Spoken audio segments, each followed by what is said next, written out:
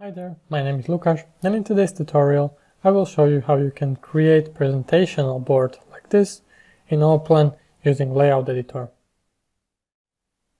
At first, when we look closer we can see that all the elements are made in Allplan using rendering tool or generating the plans sections or even taking the screen grabs and making the diagrams. When we go back to Allplan Currently we are located in Layout Editor and first thing we need to do is set up a page. So we go to set up page and as we can see currently I have format A0. Usually for presentation purposes you choose format A2, A1 and A0. For now I will have A0 landscape format. Next thing we do is we can import our drawings. So we go to layout element and then building structure. We choose drawing files which we want to have included in our project. Then we need to choose particular scale, for this time 1 to 50. And remember, font factor, keep always at 1, because then your text and your dimension lines will look like they are in scale 1 to 100. And drawing type scale definition. Then we place it outside of the layout. And as we can see, all is placed as we want. Then we go to layout window and we create a layout window as we explained in a previous video. So you need to select all the elements, make a layout window and click escape. Now you have your first ground floor ready to be used. You move it.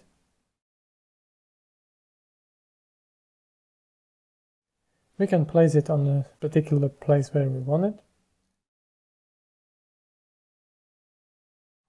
And then, next thing we do, we import a render of a plan. So we go to desktop, and as you can see here, I have prepared all the renders and diagrams which are needed. So you just pick it, drag it, and drop it in Allplan. Then, what we want to have is a transparency on a certain level. For this purpose, I would use 50%. Click OK. And you click where you want to have it. Let's say here. Then we just pick it and we need to place it exactly where the plan is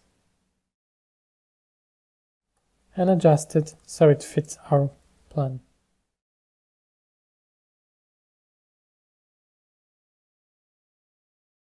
This is really fiddly work, so you need to be patient. So now, as you can see, my plan and my render are aligned. Just a little bit of adjustment. I'm happy with the way it looks now, but I don't like this gray frame around which is the ground. So what I do, I double click on a bitmap and here you can see hide pixels. I check this tool. I pick a pipette and I can pick a color which I don't like to keep. And then here is a tolerance. I usually put it on 4 or 5 to make sure that I really hide the pixels I don't want to. Click OK. As you can see it wasn't enough because here are still some pixels. They may be a bit darker or a bit lighter so you need to increase the tolerance even higher. Let's say 6. And now as you can see, we don't have the frame anymore. Next, we can import a main image. So we go back to desktop and we pick render again, drag and drop. Click OK and place it outside of the layout because if you can if you place it in it will fill the whole layout. So place it in, drop it, click escape. And now you can move it wherever you want.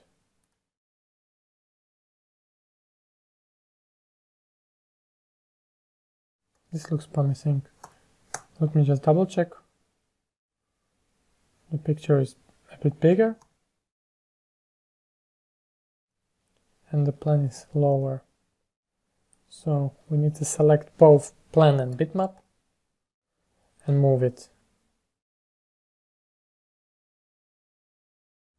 So there is more space for the image.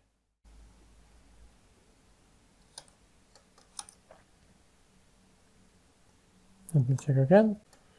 Okay. Next thing, we need section here. In a previous video, I showed you how you can create your layout for technical drawings and we exported a layout of section, plan and elevation.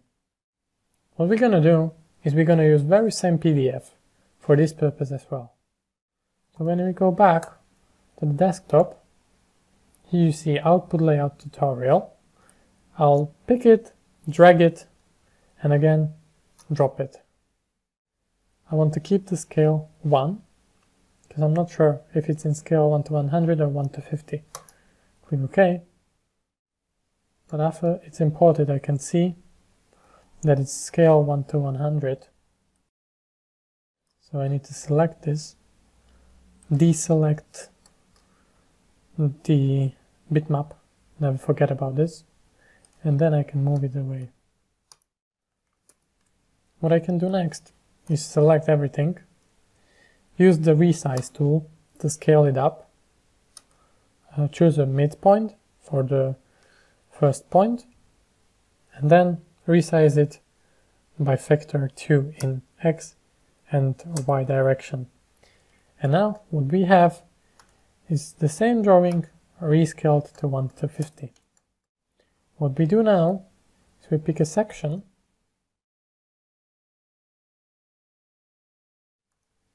and we move our section to our scene. Exactly where we want it. Let's say here. Yeah, We need to pick this heading. And probably what we should do is place this plan a bit to the left. So we have more space here. It's not too packed now we can get rid of AA the heading is too small so we double click on the text select the whole text and change it to 5 mils. Click OK. And also what we can do double click again and add 1 to 50 so we know in which scale the drawing is. Now we can move it a bit higher. We can copy this text, move it above a plan, double click and change it to plan.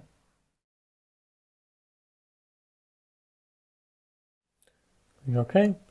And now we have two headings for both drawings. can move this one a bit higher. Yeah, like that. And then we can delete this whole part.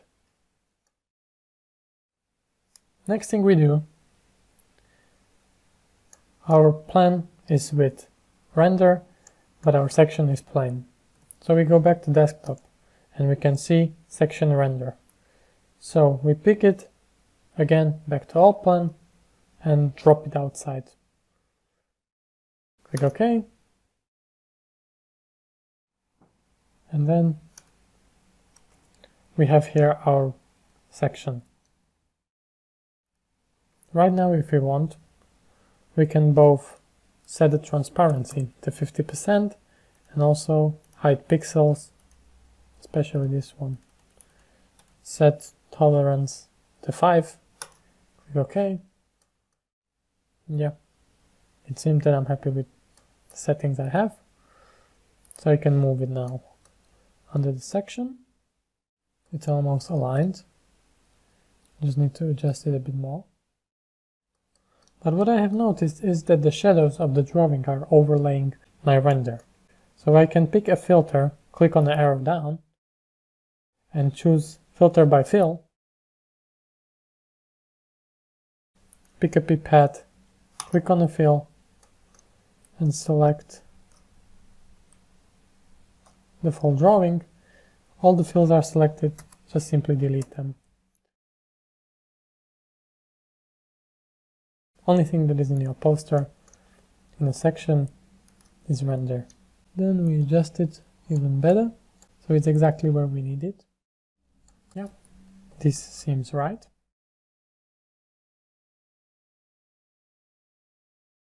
When we compare this poster, yeah, it looks that it's going to the right direction. Now what we need is text and this diagram. I prepared both of these on the side of the layout, so I don't need to write the text or anything. But what I will show you here, in this diagram, all of these axonometric drawings are screen grabs from uh, animation window, exported as JPEG, imported in the same way as these three renders. And then what I did is checked hide pixel and I picked a white color. And as you can see, now it appears to be like a PNG without any background. And then you can simply overlay all of the axonometric drawings above each other, which creates sort of like exploded axonometric effect. And here is simply a text with a little description. So we can move these two to the place where we want it. And yeah, it looks like our poster is ready to be exported. So what we do next is go to export PDF data. If you can't see it here, you just click on the arrow down and it says here export PDF data. Click OK.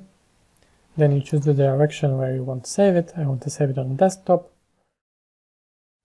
This is poster tutorial reference, which is this one. So I will save it to final poster. Click save. Don't forget to uncheck grayscale because you will have black and white, not colorful. And then click OK. And now, as you can see, here is our final render with all the drawings inside.